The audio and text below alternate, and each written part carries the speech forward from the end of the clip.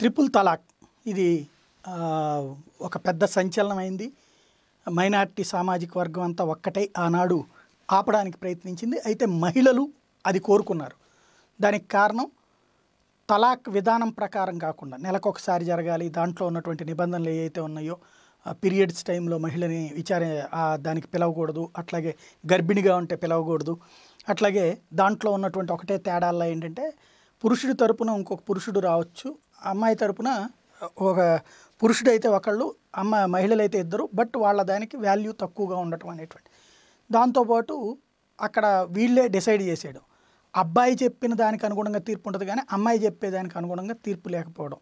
అక్కడ న్యాయమూర్తుల యాంగిల్లో కాకుండా అక్కడ ఉన్నటువంటి పెద్ద యాంగిల్లో వెళ్ళటం దాన్ని అంగీకరించకపోవడం దానివల్ల అనేక మంది మహిళలకు అన్యాయం జరగడం వీళ్ళు తలాకు ఓకే అనేస్తారు ఆ తర్వాత వాళ్ళకి ఎలాంటి కాంపెన్సేషన్ కానీ అదే మామూలు వివాహ చట్టంలో ఎట్లాగుంది విడాకులు ఇవ్వాలంటే ఖచ్చితంగా దానికి సరైన రీజన్ ఉండాలి న్యాయస్థానం అంగీకరించాలి ముందు కౌన్సిలింగ్ అటెండ్ కావాలి ఇవన్నీ చాలా తతంగాలు ఉన్నాయి. ఇంకోటి ఈవెన్ విడాకులు ఇచ్చిన తర్వాత అమ్మాయి పోషణ బాధ్యత బిడ్డల పోషణ బాధ్యత అబ్బాయి తీసుకోవాలి.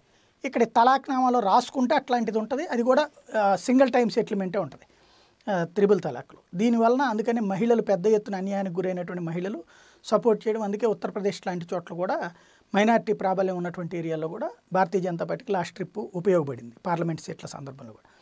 ఆ త్రిబుల్ తలాక్ వలన ఏం జరిగింది? వన్ ఇయర్ అయింది నిన్నటితో అది వచ్చి.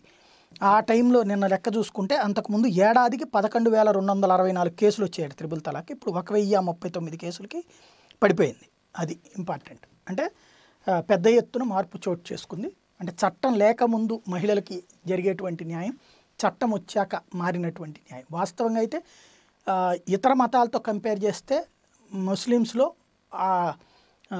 ఇది విడాకుల కేసులు తక్కువే. అది కూడా అంగీకరించాలి మనం.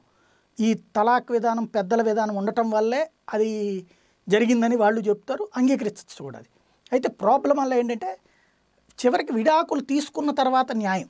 ఏ ఫోన్లో చెప్పేయడము నాకు నచ్చలేదని విదేశాలకు వెళ్ళి చెప్పేయడము ఈవెన్ పాత బస్తీ లాంటి చోట్ల చిన్నపిల్లల్ని పెళ్ళి చేసుకుని షేకులు ఓ మూడు నెలల్లో ఆరు నెలల్లో అయిన తర్వాత వెళ్ళిపోతూ చెప్పిపోవడం లేదా అక్కడికి వెళ్ళి చెప్పడం అలాంటివి ఏవైతే ఉన్నాయో అలాంటి వాటికి ఇది అడ్డుకట్ట వేసేటువంటిది.